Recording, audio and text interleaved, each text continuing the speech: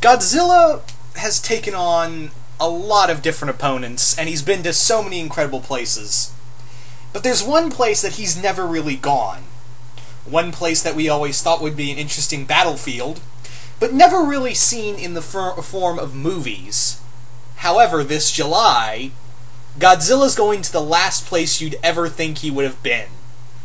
Godzilla goes to hell. That's right, ladies and gentlemen.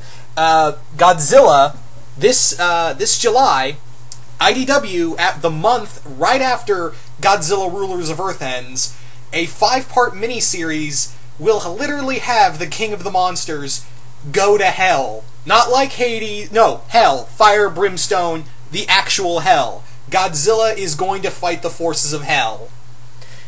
Uh, yeah, he is go. Yeah, Godzilla is going to the underworld. He's not going to fight Hades. He's not going to. He's fighting Lucifer. He is fighting, going one on one with Lucifer.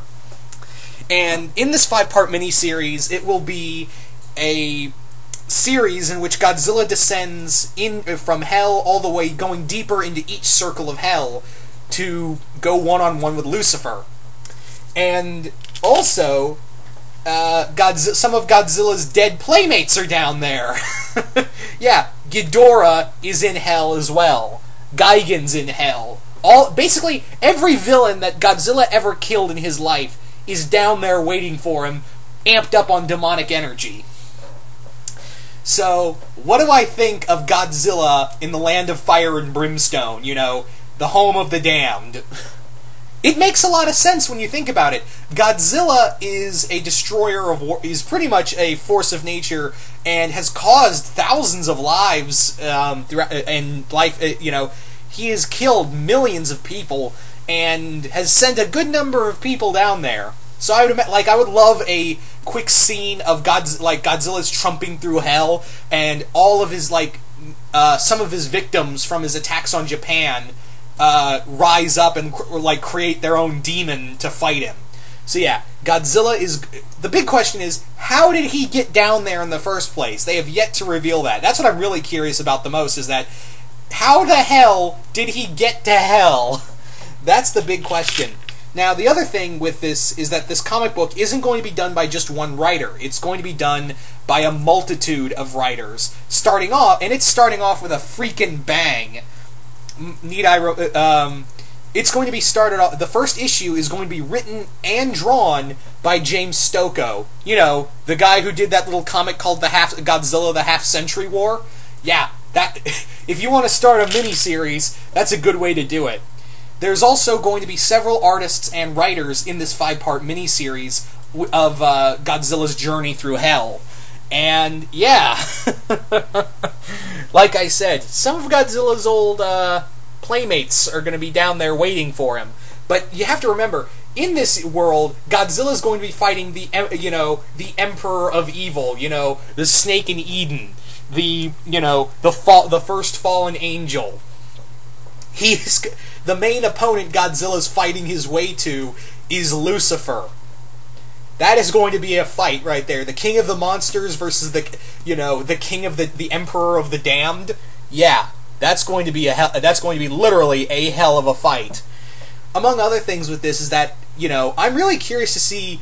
Um, like I said, what sent Godzilla down to hell in the first place? That's going to be something to behold.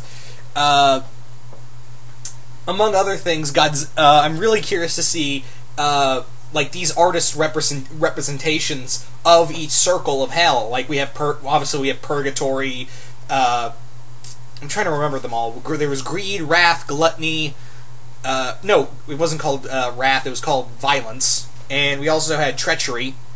Each of these circles are worse than the last, and hell's a pretty bad place to be. So I really want to see how these artists um, really bring this rep- representation of hell to life. And yeah, it's it's very reminiscent of like da- it very feels much like Dante's Inferno of the hero traveling into hell to fight his way out of it. Well, in the original poem, it was a poet who went down there to find his love, and he like passed out every time. I'm talking about the Dante's Inferno video game, and that's a very cool. That's a very interesting representation of hell. Like each of those circles were very different and each played to the themes of their original form and in the original uh, Divine Comedy. I would not be surprised that someone was like reading the Divine Comedy and literally said, "You know what? Instead of uh, like a poet, let's put the let's put a giant radioactive lizard down there and have him fight dev- and fi- have him fight the devil." That'll be awesome, right? And someone at IDW said, "Yeah, let's do that." yeah. So that's going to be the big thing is that um, when he goes down to e- Godzilla's going through each circle. I want to know, like, uh, again, what se- did someone send him down there? Did the did the devil uh, d- drag him to hell? Did Godzilla just stumble into it into like hell itself, or like I said, did someone send him like transport him down there? I wouldn't be surprised if like this tied into like maybe Dimension Tide uh, if they use like a version of Dimension Tide from Godzilla vs. Megaguirus and shot him off into another universe, that universe being Hell. So, anyway, really excited to see where this is going to go. And it's right, it's the month after uh, Rulers of Earth ends. So I'm really glad that, you know, IDW is decided to do something you know, really quickly after this uh, phenomenal series ends this year. And th- apparently, this this series will be coming out weekly. So all the month of July for five weeks, we're getting you know Godzilla in Hell. So you guys tell me what do you uh, what do you guys think of the idea of Godzilla in Hell? Do you guys like the idea? Do you guys hate the idea?